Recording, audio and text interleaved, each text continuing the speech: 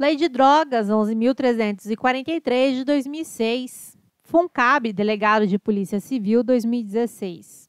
Sobre a Lei de Drogas e as normas que a complementam, é correto afirmar que o crime previsto no artigo 28 da Lei Especial tem prazo prescricional fixado em dois anos.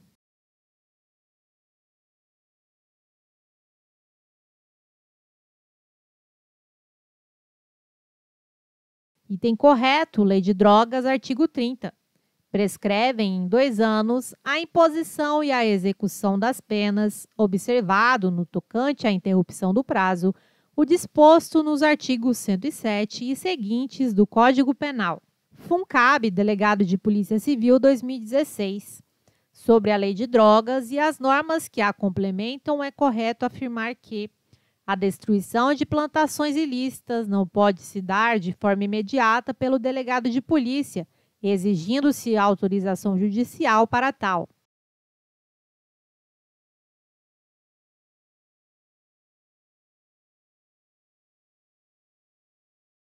Item errado.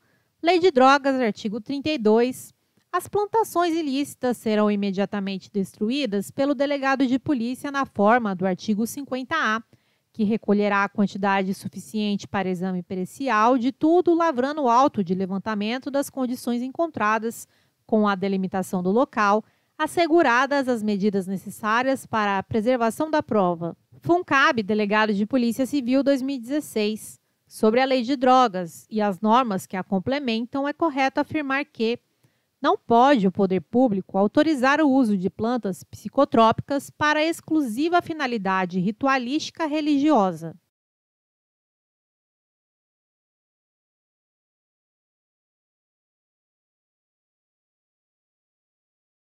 Item errado. Lei de Drogas, artigo 2 Ficam proibidas em todo o território nacional as drogas, bem como o plantio, a cultura, a colheita e a exploração de vegetais e substratos dos quais possam ser extraídas ou produzidas drogas, ressalvada a hipótese de autorização legal ou regulamentar, bem como o que estabelece a Convenção de Viena das Nações Unidas sobre substâncias psicotrópicas de 1971, a respeito de plantas de uso estritamente ritualístico religioso. Eu vou te falar agora o que você não pode fazer de jeito nenhum na sua preparação. Estudar só por teorias, fazer questões e não anotar os seus erros, não revisar as questões que você errou, estudar sem metodologias e sem técnicas de memorização